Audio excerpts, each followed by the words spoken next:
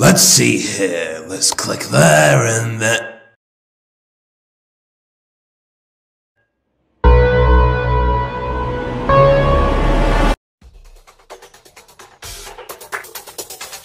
What the fuck is wrong with you, you fucking